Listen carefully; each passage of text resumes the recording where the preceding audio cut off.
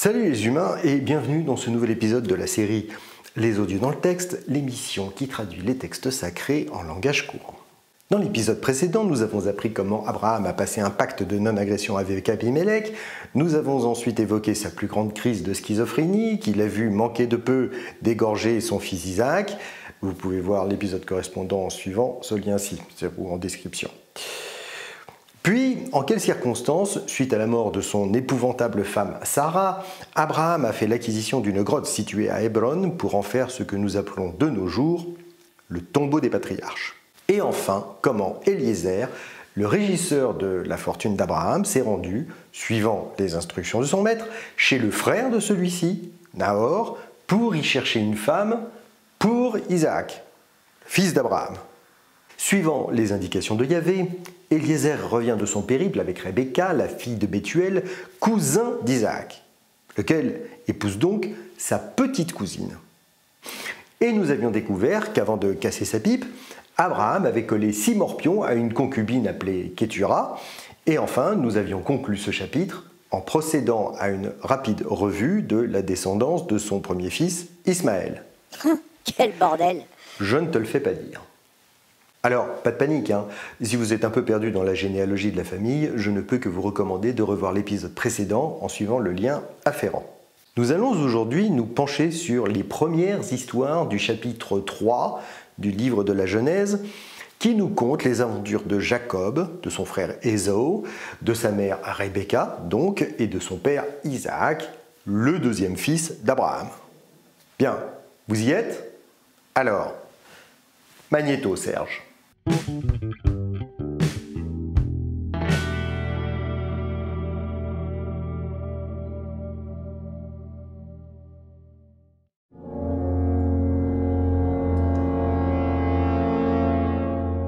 Donc, quand il épouse Rebecca, sa petite cousine, Isaac a 40 ans. Manque de bol, elle est stérile. Encore? Quoi encore ah, C'est tout de même stupéfiant cette capacité qu'a Dieu de toujours faire épouser des femmes stériles à ses humains préférés. Oui, hein Hmm. Comme de bien entendu, Isaac supplie Yahvé de lui accorder une descendance et au bout de 20 ans, le Tout-Puissant se décide enfin à exaucer son vœu. Rebecca tombe enceinte de jumeaux. D'ailleurs, ils ne sont pas encore nés qu'ils prennent déjà le placenta de leur mère pour un octogone.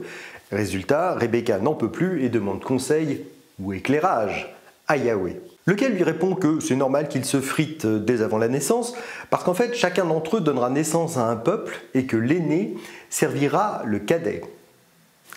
Ça promet. Alors là, le texte est un petit peu curieux. Enfin, plus curieux que d'habitude. Je vous cite. Quand vint le temps de ses couches, voici qu'elle portait des jumeaux. Ah bah, voilà une surprise, dis donc. Parce que vu l'agitation intra-utérine qu'elle subissait, on s'en serait un petit peu douté. Et elle aussi d'ailleurs. À moins qu'elle ait porté un fils unique qui serait le véritable initiateur du Fight Club, quoi. Enfin bref. Le premier des jumeaux apparaît tout roux et tout poilu et est nommé Esao.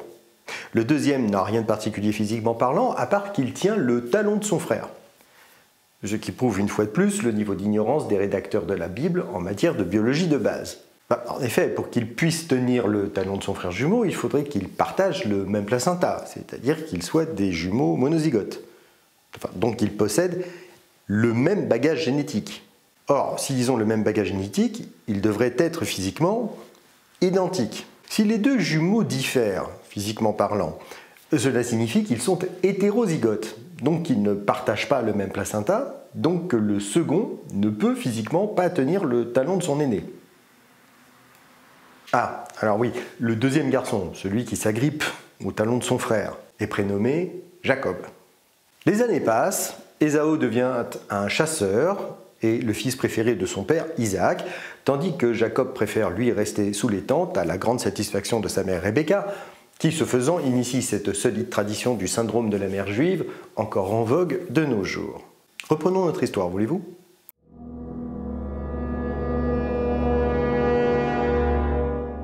Il se trouve qu'un jour, Ésaü rentre à moitié mort de faim d'une de ses expéditions de chasse, au moment pile où Jacob finit de cuisiner un succulent plat de lentilles. Ésaü demande alors à son frère de lui en céder une part. À quoi euh, Jacob, le gentil fils à sa maman, lui rétorque Je t'en donne en échange de ton droit d'aînesse. Alors, pour ceux d'entre vous qui ne sauraient pas exactement ce qu'est le droit d'aînesse, nous allons ouvrir une parenthèse vocabulaire. Le droit d'aînesse, c'est ce qui confère la totalité ou la majorité des biens d'un foyer au premier-né. Le plus souvent, ce droit est restreint à l'aîné mâle de la famille, mais il est parfois accordé ou étendu à un autre enfant de la même famille. En bon français, le premier enfant à pointer son nez dans le foyer rafle tout au décès des parents, ou plus précisément à celui du patriarche. En fait, cette tradition était plus une stratégie pour ne pas euh, morceler la propriété familiale. C'est ce système de partage des successions importantes qui a permis de fortifier l'aristocratie héréditaire et la paysannerie propriétaire, par exemple. Fin de la parenthèse. Rendez-vous bien compte de l'énormité de la demande. Jacob se propose d'acheter à son frère tout son héritage au prix d'un plat de lentilles. Et très étrangement, Esau, au lieu d'envoyer son frère se faire foutre, accepte. Alors là, il y a quand même de quoi s'étonner. Comment Esau, qui est un chasseur, donc un homme forcément athlétique, doté d'une grande volonté, très résistant à la fatigue et la douleur, peut-il ainsi céder à cet odieux chantage? Parce que, soyons clairs, si Jacob a cuit les lentilles ce jour-là, rien ne l'autorise à privatiser une part des réserves de bouffe de la famille. En réalité, tout ce qui a permis la préparation de ce plat appartient à Isaac, leur père. Et puis, si on va dans ce sens, Jacob a forcément déjà cuisiné et consommé de la viande des gibiers chassés, tués et ramenés par son frère. Pourquoi Esau ne lui en fait-il pas la remarque? Mystère. Non seulement ça, mais Esau pourrait aussi tout simplement mettre une bonne grosse tarte à son frère et se servir dans le plat sans lui demander son avis. Ou encore aller demander à manger à leur mère. Il serait étonnant qu'elle refuse de la nourriture à l'un de ses fils. Mais bon, Nouvelle démonstration que les héros bibliques sont des abrutis finis. Mais en fait, c'est la réponse d'Ésaü qui nous donne la clé du mystère. Je cite Jacob dit Vends-moi d'abord ton droit d'aînesse. Ésaü répondit Voici que je vais mourir. À quoi me servira le droit d'aînesse? En fait, Ésaü n'est pas simplement fatigué de sa chasse. Il est littéralement en train de mourir de faim et d'épuisement sous les yeux de son frère. Et quel est le réflexe de Jacob en voyant son aîné dans une telle détresse? Au lieu de lui porter secours, comme ferait n'importe quel être humain décent, surtout s'ils ont un lien de parenté, il lui fait du chantage. Jacob profite cyniquement de la faiblesse physique et mentale de son frère pour lui extorquer son droit d'aînesse. La classe. Cela en dit déjà long sur les qualités morales du personnage. Qualités qui seront rapidement mises de nouveau en lumière dans la suite du récit. Ceci dit, son attitude n'est finalement pas si différente de celle de certaines associations chrétiennes américaines qui prétendent porter secours aux SDF, mais conditionnent l'octroi d'un repas chaud et d'un endroit pour dormir à l'engagement d'assister à une messe. Voyons la suite.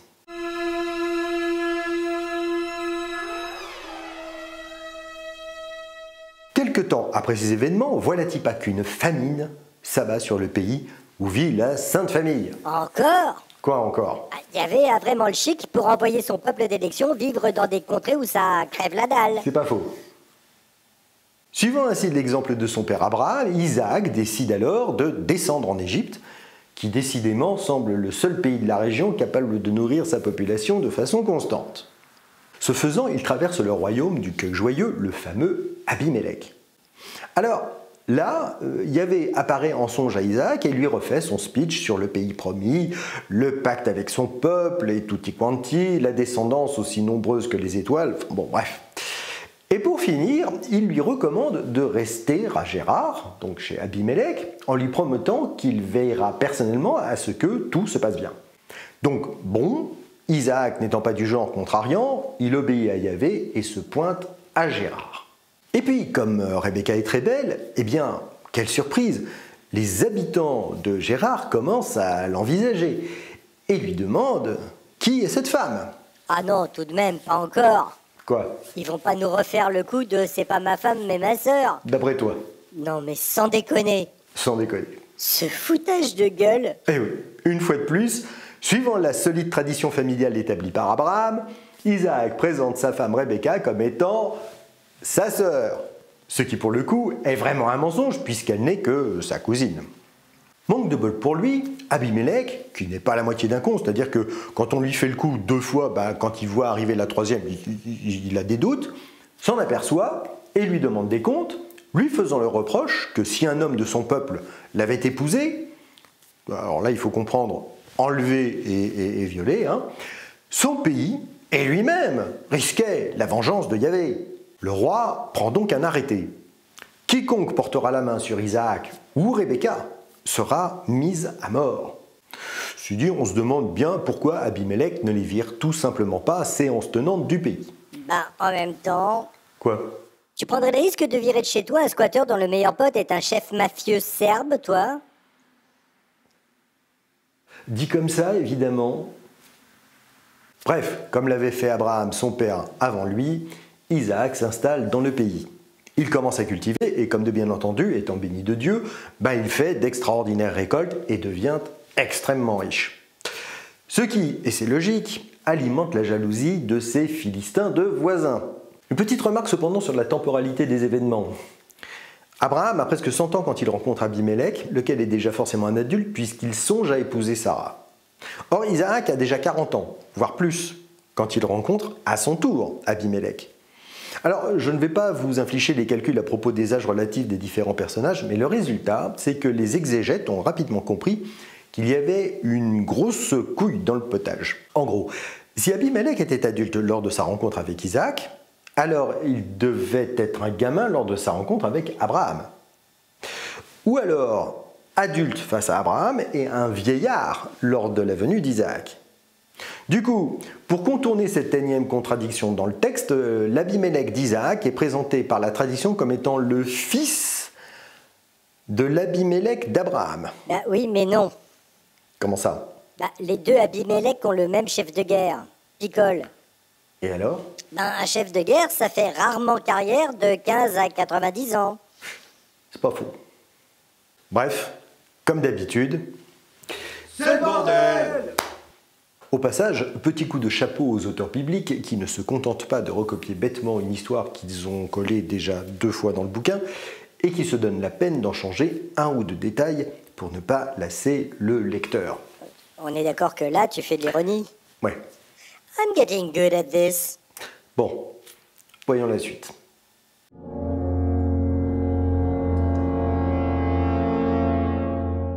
Alors là, on a encore droit à une de ces incohérences culturelles dont la Bible a le secret. Apparemment, par jalousie du succès d'Isaac, les habitants de Gérard ont rebouché les puits qu'Abraham avait creusés quand il vivait dans le coin. Alors franchement, posez-vous la question. Dans quel pays désertique, majoritairement peuplé de nomades, les gens s'acharneraient-ils à reboucher des puits? Hein Franchement. D'autant que comme cela fait longtemps qu'Abraham s'est barré et qu'il ne possédait pas les terres, les puits sont de facto la propriété d'Abimelech. Non, décidément, c'est complètement débile. toujours est-il que l'immense fortune d'Isaac commence à faire de l'ombre à Abimelech, lequel lui demande de se barrer de chez lui, ce qui peut éventuellement se comprendre. Isaac obéit sans discuter et se met en route, sans doute pour euh, rentrer euh, d'où il naît. Et chemin faisant, vers on ne exactement, donc, euh, il débouche au fil de son périple les puits creusés par son père. Mais quand il découvre deux nouvelles sources, Essek et Sitna, celles-ci sont réclamées par les Philistins. Isaac ne proteste pas, laisse sans discuter et poursuit son chemin, s'éloignant donc petit à petit de Gérard. Il découvre alors une nouvelle source, Rochobot, ou pardon, qui cette fois n'est pas réclamée par les Philistins et près de laquelle il décide de s'installer. Oh, c'est passionnant. Oui, hein. Allez, la suite.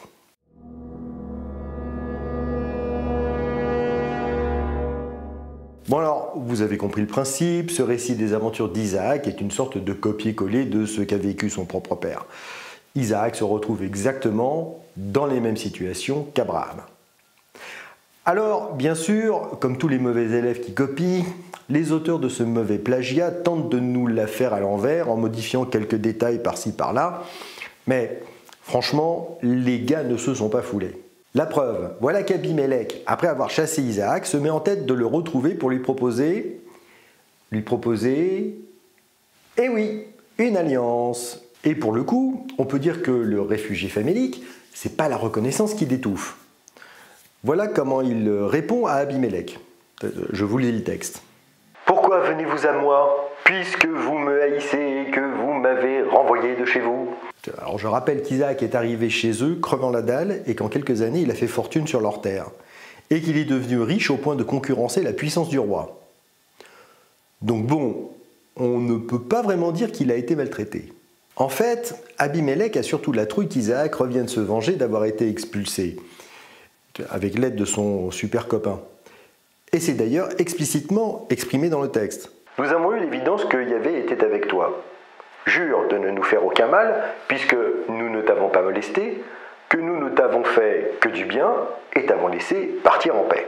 Ce que redoute Abimelech, c'est qu'Isaac, avec tout son pognon, se paie une armée pour lui piquer son trône. En fait, il demande à Isaac de reconnaître qu'ils ont tous été très gentils avec lui et que euh, pas tapé. Et puis le chapitre s'achève sur un festin agrémenté d'une partouze as usual.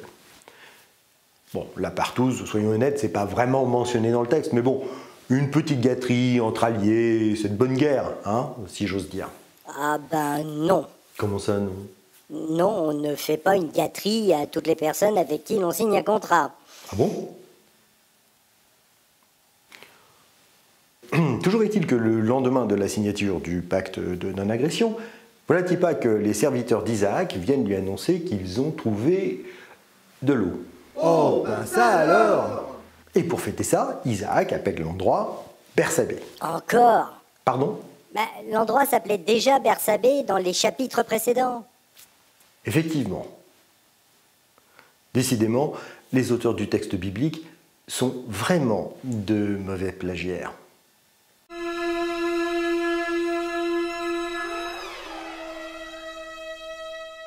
Très court chapitre qui nous raconte qu'à 40 ans passés, Ésaü, donc le fils aîné et préféré d'Isaac, épouse deux femmes hittites, Jéhudite et Basmat, décision que ni son père ni sa mère n'approuvent. Vous verrez que ça jouera pour la suite de l'histoire. Alors attention, là nous attaquons un gros chapitre. Surtout, retenez bien le titre que les traducteurs de l'école biblique de Jérusalem ont donné à cet épisode. hein. C'est important. Bien, vous y êtes? Allez, c'est parti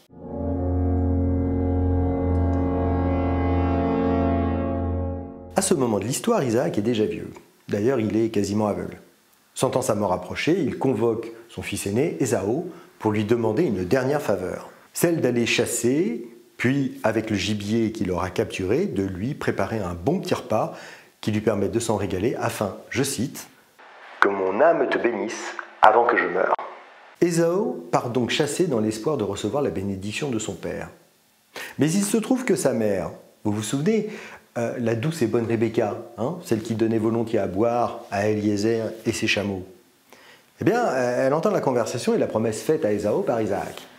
Et quelle est sa réaction à cette brave femme? Eh bien, elle se précipite pour dire à son fils préféré, le gentil Jacob, d'aller choper un ou deux chevreaux dans le troupeau et de les lui ramener. Pourquoi faire, me direz-vous? Eh bien, tout simplement pour les cuisiner et que ce soit Jacob qui présente le délicieux plat à Isaac afin d'être béni par lui en lieu et place de son frère Ésaü. Mais Quoi? C'est dégueulasse. Je ne te le fais pas dire. À l'exposition du machiavélique plan maternel, Jacob fait remarquer que, même s'il est aveugle, Isaac risque, en le touchant, de s'apercevoir de la supercherie, puisque son frère est super poilu, et lui, pas du tout. Et qu'au lieu d'une bénédiction, il risque plutôt de se prendre une malédiction. À quoi Rebecca lui rétorque de ne pas s'inquiéter pour ça, et que si cela arrive, elle prendra sur elle la malédiction. Jacob s'incline et va chercher les chevreaux que lui réclame sa mère, laquelle, après avoir cuisiné un bon petit plat, emprunte les plus beaux habits qui appartiennent à Ésaü pour en vêtir Jacob, afin que celui-ci porte l'odeur de son frère. Puis elle recouvre les parties glabres de Jacob avec de la peau des bêtes qu'elle a cuisinées, pour simuler la pilosité de son frère aîné. À la suite de quoi, elle lui colle le plat dans les mains et Jacob va l'offrir à son père. Alors, le vieux n'y voit peut-être plus grand-chose, mais il s'étonne tout de même qu'Esao ait été si rapide pour chasser, rapporter et cuisiner la bestiole. À quoi Jacob lui rétorque que c'est que Yahvé, ton Dieu, qui m'a été propice. Notons donc que pour l'instant, le Dieu d'Isaac n'est pas celui de son fils. Mais cette explication ne satisfait pas pleinement le vieil homme car il lui semble reconnaître la voix de Jacob. Soupçonneux, il demande alors à toucher son interlocuteur pour vérifier son identité. Identité sur laquelle Jacob ment à plusieurs reprises quand son père l'interroge. Trompé par le côté poilu de celui qui lui sert ce bon petit plat, du pain et du vin, Isaac finit par manger et boire ce qui lui est présenté. Petite note. Il est tout de même étrange qu'Isaac, en goûtant le plat que lui offre Jacob, ne reconnaisse pas la cuisine de sa femme. Mais bon, nous savons depuis un moment qu'Isaac n'est pas l'étoile la plus brillante de la constellation des élus de Dieu. Une fois son repas terminé, Isaac demande à celui qu'il prend pour Esao de s'approcher afin de le bénir. Alors, une fois n'est pas coutume, je vais, si vous le voulez bien. Et s'ils veulent pas Pardon? Tu dis si vous le voulez bien. Oui, et Il se passe quoi s'ils veulent pas? Mais t'as vraiment rien d'autre à foutre? Ben non. Je vous prie de nous excuser pour cette grossière interruption. Je disais donc qu'une fois n'est pas coutume, et que vous le vouliez ou non, je vais vous donner lecture de ce passage qui, de par sa dimension presque poétique, détonne quelque peu avec le reste du texte. Oui, l'odeur de mon fils est comme celle d'un champ fertile que Yahweh a béni. Que Dieu te donne la rosée du ciel et les gras terroirs, froments et mous en abondance. Que des nations te servent, que des peuples se prosternent devant toi.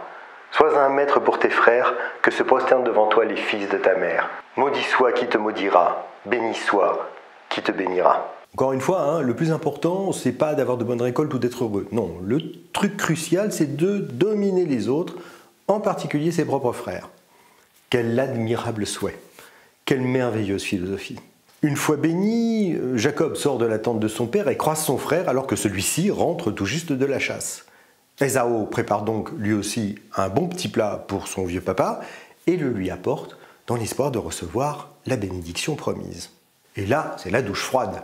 Isaac comprend qu'il a été trompé par Jacob et que c'est lui qui l'a béni en lieu et place d'Esao, lequel, désespéré, supplie alors son père de le bénir lui aussi.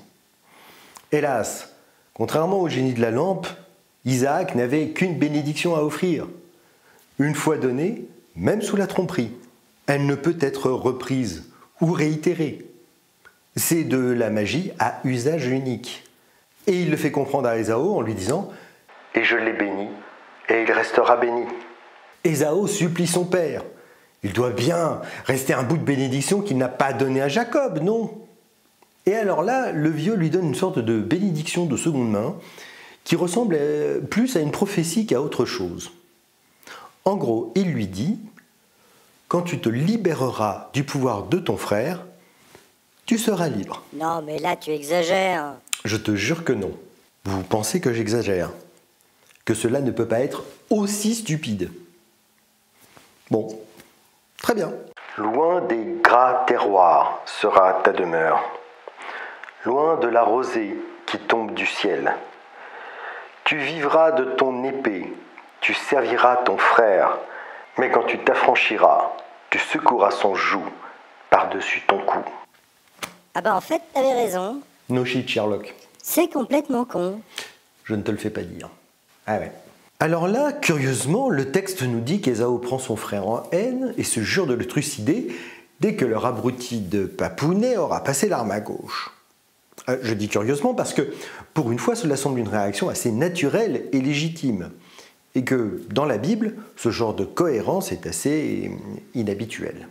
Toujours est-il que les intentions trucidaires d'Esao à l'endroit de Jacob arrivent aux oreilles de la douce et tendre Rebecca, leur mère, qui lui conseille alors d'aller fissa caresser Mich à l'abri chez son oncle Laban, à Haran, le temps que les choses se tassent. Puis elle lui promet qu'une fois qu'Esao sera calmé, elle l'enverra chercher pour qu'il revienne. Et le chapitre se conclut sur une question que pose Rebecca. Pourquoi vous perdrais-je tous les deux en un seul jour? Ce qui en dit long sur sa façon de voir les choses et d'agir, sur lesquelles nous allons nous pencher un peu dans notre conclusion. Alors, nous pourrions nous arrêter là, mais nous allons tout de même jeter un œil au petit chapitre suivant parce qu'il propose une piste de réflexion pour comprendre l'attitude de Rebecca envers Esau.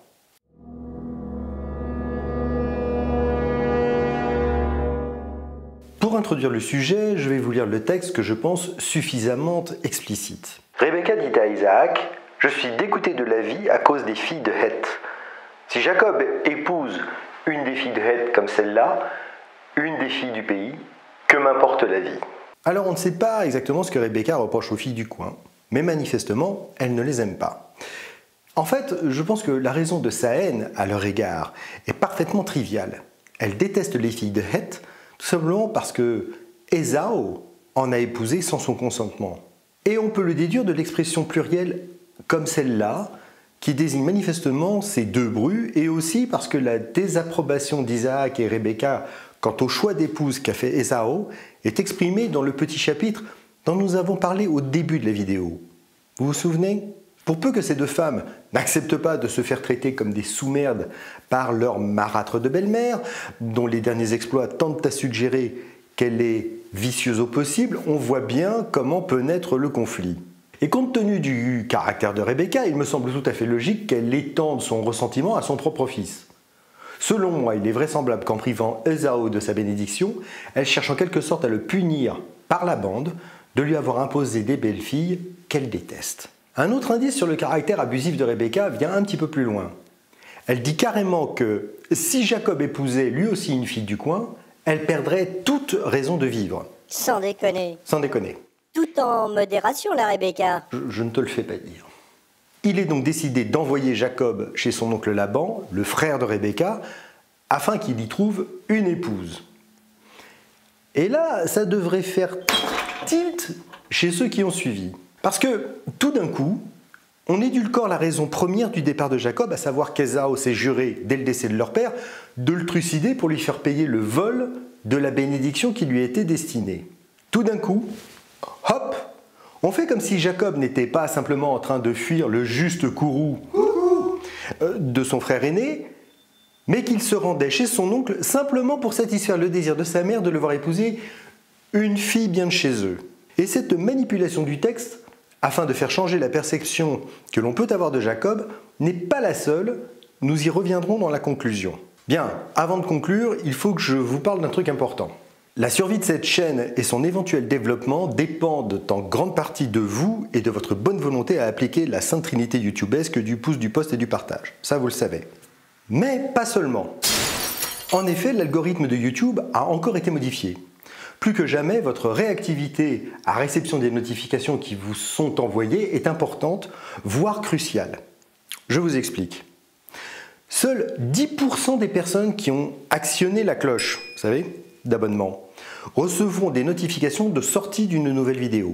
Et si les personnes qui sont choisies au hasard ne sont pas assez nombreuses à cliquer sur la notification pour signifier qu'elles veulent voir la nouvelle vidéo, YouTube n'enverra pas la volée suivante de notifications. Donc les autres abonnés ayant actionné la cloche ne seront pas prévenus. Mais YouTube ne se donnera pas non plus la peine de recommander la vidéo aux simples abonnés et encore moins à ceux qui ne le sont pas. Ces dernières semaines, certaines chaînes très importantes ont vu leurs revenus chuter jusqu'à 50%. Personne ne sait exactement pourquoi, mais le résultat est là et pour certains, c'est dramatique. Alors, si cela m'arrive, cela ne sera pas extrêmement grave vu que je n'ai pas d'employé à foutre au chômage, mais cela va certainement me compliquer les choses et retarder la mise en œuvre de certains projets évidemment grandioses que j'ai dans les tiroirs. Voilà, fin de la page pub, autopromo et prostitution. Il est temps de conclure cet épisode.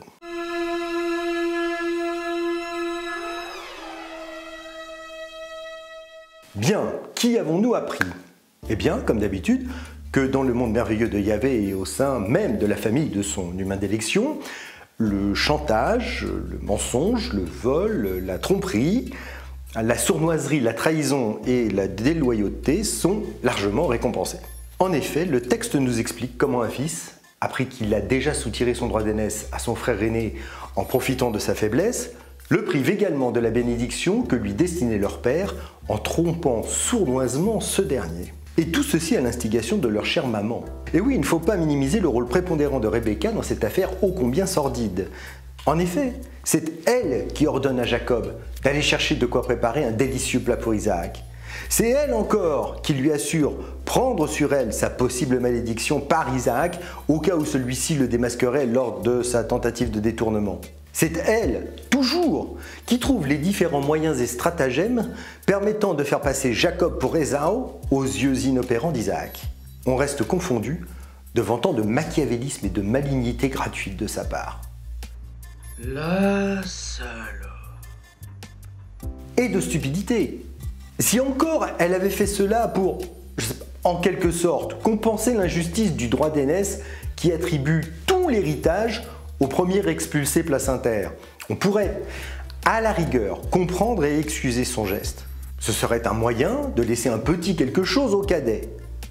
Mais là, en l'occurrence, Jacob est déjà détenteur du droit d'aînesse, qu'il a, je vous le rappelle, cyniquement extorqué à son frère. Autant dire qu'il a déjà tout.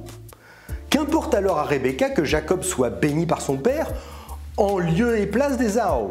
Si elle avait laissé faire les choses, chacun de ses fils aurait reçu quelque chose de précieux de la part d'Isaac et les tensions auraient pu s'apaiser entre les deux frères. Il est d'ailleurs probable qu'en prévoyant d'offrir sa bénédiction à Ésaü, le dessein d'Isaac était précisément de composer la perte de son droit d'aînesse et d'amoindrir son ressentiment envers Jacob. Eh bien pour Rebecca, cela n'est pas acceptable. Il faut que son bébé d'amour préféré ait tout. Quitte pour cela tromper son mari et encourir sa malédiction. Quitte à dépouiller son fils aîné du peu qui peut lui rester. Oh la salope. Nouvelle démonstration que tous les personnages bibliques sont des abrutis finis. Car il est bien évident qu'après avoir été volé de la sorte par Jacob, Esau ne peut que haïr son frère, ainsi que celle qui a fomenté le projet, à savoir sa propre mère. D'ailleurs, Rebecca en a bien conscience quand elle pose sa question finale. Pourquoi vous perdrais-je tous les deux en un jour? Si elle exprime sa crainte de les perdre tous les deux, c'est bien parce qu'elle considère avoir déjà perdu l'affection de son fils aîné, de se l'être définitivement aliéné en participant à sa totale spoliation. Ce qui par la même occasion prouve qu'elle est parfaitement lucide et consciente d'avoir mal agi envers Esau et qu'il est légitime qu'il lui en veuille. Pourquoi Isaac n'annule-t-il pas tout simplement sa bénédiction à Jacob quand il comprend que celui-ci a abusé de sa crédulité et de son état pour spolier son frère? En effet, une bénédiction n'est que performative. Elle n'existe et n'a de valeur que par la volonté de celui qui l'octroie en la formulant. Il suffisait à Isaac, pour calmer la situation, de reprendre à Jacob soit sa bénédiction, soit son droit d'aînesse, pour les restituer à Ésaü. Dans cette société strictement patriarcale où, les parents ont droit de vie et de mort sur leurs enfants, Jacob n'aurait eu aucun moyen de contester la décision de son père. Et pourtant, Isaac laisse son fils aîné, préféré en plus, au désespoir de ne pas recevoir sa bénédiction alors qu'il sait fort bien dans quelles circonstances il a perdu son droit d'aînesse au profit de Jacob. Comment peut-il imaginer dès lors qu'Esau ne nourrisse pas de détestation et de désir de vengeance envers son cadet?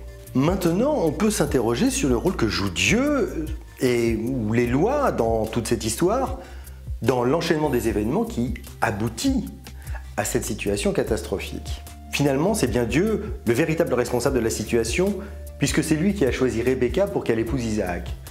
Cette adorable jeune fille, qui semblait si douce, si gentille et si prévenante, s'est transformée à la suite de son mariage en une insupportable mégère. On ne m'ôtera pas l'idée que cette évolution a un rapport avec le fait qu'elle a épousé un bonnet probablement encore puceau à 40 ans, qui se félicitait d'avoir trouvé euh, dans sa jeune épouse un substitut à sa maman fraîchement décédée. Je vous explique tout ça dans cet épisode-ci. Si j'insiste sur la terrible responsabilité de Yahweh dans toute cette affaire, c'est que le texte lui-même révèle que tout est arrivé de par sa volonté. En effet, souvenez-vous qu'au début de cette vidéo, nous avons évoqué un paragraphe dans lequel Dieu explique à Rebecca, qui se plaint que les deux bébés se battent dans son ventre, que, je cite, L'aîné servira le cadet. Yahweh savait donc à l'avance comment les choses allaient tourner. Comment Jacob, avec la complicité de sa mère, allait spolier et voler Ésaü de la façon la plus méprisable qui soit. Et pourtant, c'est ce menteur, cet abuseur, ce faux frère, qu'il choisit pour donner naissance aux douze tribus d'Israël.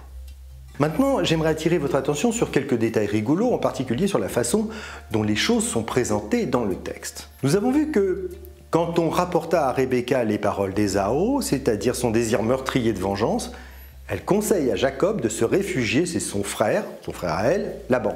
Seulement, il y a un i qui est de taille dans cette version de l'histoire.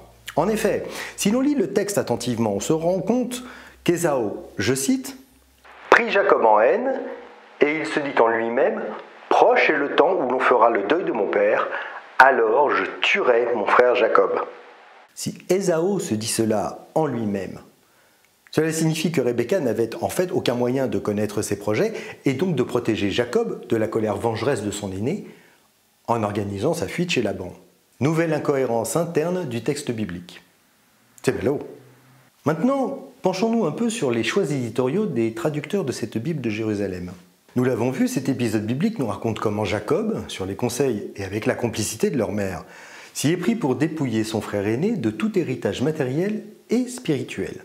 Il se rend donc coupable de chantage, d'abus de faiblesse, de trahison et de vol envers son frère, puis envers son père, d'abus de confiance, de tromperie et de mensonge. Beau bilan. Et c'est ce type-là qui sera à l'origine des douze tribus d'Israël. C'est ce voleur, ce menteur, ce faux frère, ce traître à son propre sang, qui sera béni de Dieu et dont la nombreuse descendance prendra possession du pays de Canaan. Décidément, aux gentils, aux francs, aux honnêtes, Yahvé préfère toujours les salauds. Mais bon, ça fait un moment que l'immoralité et la malignité du Tout-Puissant transparaît au fil des pages de cet épouvantable roman. On a beau s'attendre au pire de la part de ce personnage, on est toujours pris de court par sa capacité à envenimer les choses. C'est un don. C'est un style. Toujours est-il que, manifestement, ce portrait peu reluisant d'un des plus importants personnages du mythe monothéiste gêne un peu aux entournures les traducteurs et éditeurs de l'école biblique de Jérusalem, lesquels vont donc tenter alors d'influencer l'opinion du lecteur via le titre du chapitre.